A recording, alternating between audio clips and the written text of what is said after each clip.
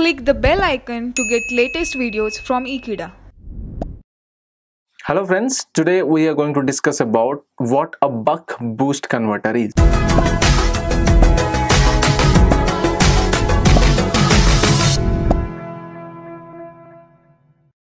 So friends, today we are going to discuss about what a buck boost converter is as we already discussed about the buck converter, the boost converter, but a buck boost converter is a combination of buck converter and a boost converter. A buck converters, as we all know friends, converts a DC value to a comparatively lower output DC value and a boost converter converts a DC value input to a comparatively higher value of DC output voltage.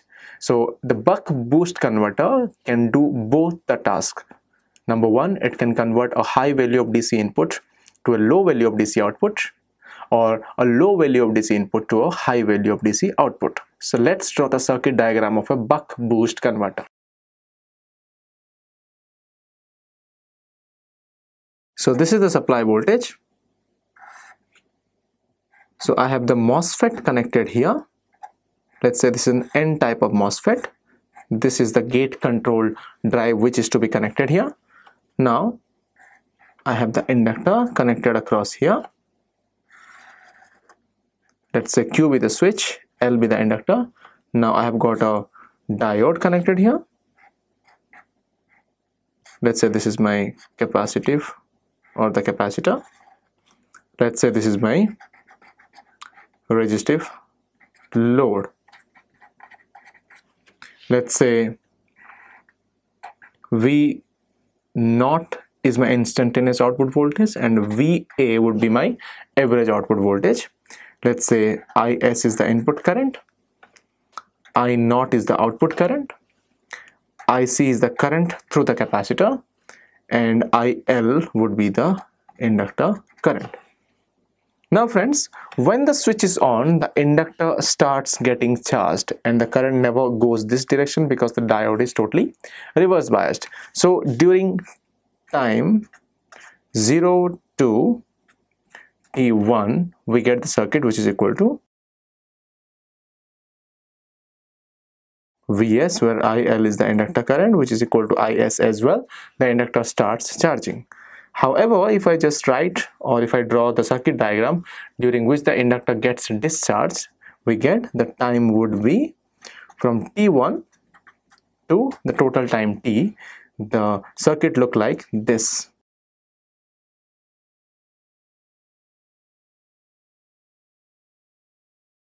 And I have got the resistive load connected.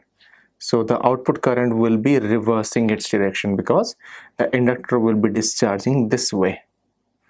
Now friends if i draw the circuit diagram or if i draw the waveform of the output voltage or the instantaneous output voltage with respect to time it looks like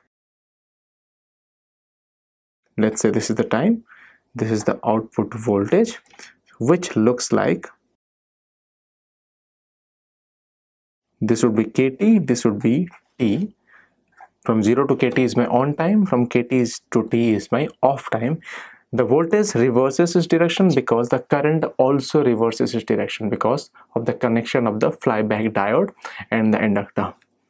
Now friends if i extend this graph and if i draw the diagram between the inductor current il i get the inductor starts getting charged again discharged again starts getting charged and again starts getting discharged where this is I1 and the peak value of the inductor will be I2 now friends if I again try to draw the capacitive current or the current across the capacitor with respect to time I get the current across the capacitor somehow looks like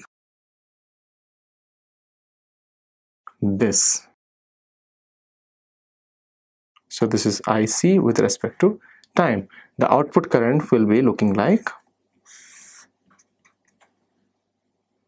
complete straight line because we are getting a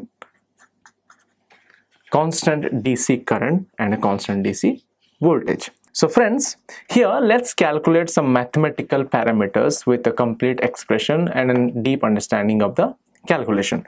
Now friends, let's calculate what will be the voltage across the inductor that is equal to L I2 minus I1 divided by T1 which is equal to L delta I by T1 as we already calculated in the earlier lectures.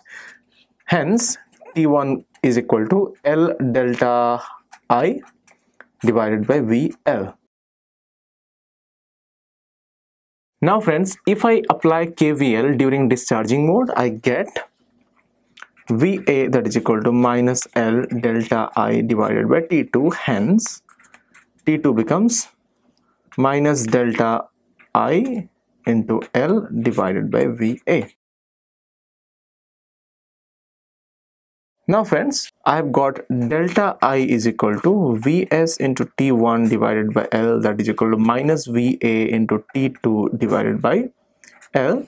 Now if I put T1 is equal to KT and T2 is equal to 1 minus K into T. I get VA is equal to minus VSK divided by 1 minus K where VA is the average output voltage, Vs is the input voltage, K is the duty cycle. Now friends, Is is equal to Ia into K divided by 1 minus K because Vs into Is that is equal to Va into Ia that is equal to V s into ia into k divided by 1 minus k as we all discussed in the earlier lectures. Now friends, to calculate the total time which is equal to the inverse of the frequency, I get t1 plus t2 because t1 is the on time and t2 is the off time and the total time period will be the on time plus off time which I get delta I L VA minus VS divided by VS into VA. Now Putting the same formula, we can easily calculate what will be the value of delta I which is equal to Vs into K divided by F into L.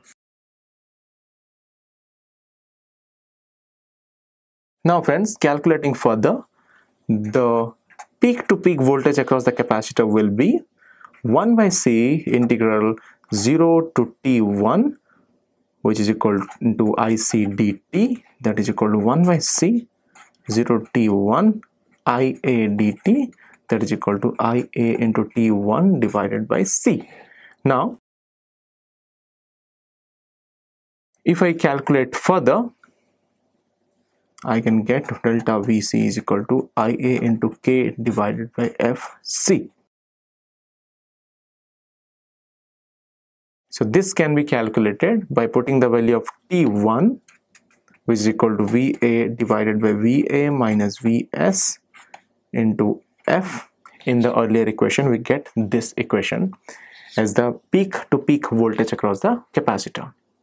So friends, hope you understood what is the function of a buck boost converter and how the average output voltage, the average peak to peak voltage across the capacitor and the inductor peak to peak current is calculated. Thank you so much friends for watching this video. Please subscribe to Ekeeda and stay tuned with Ekeeda. Thank you so much.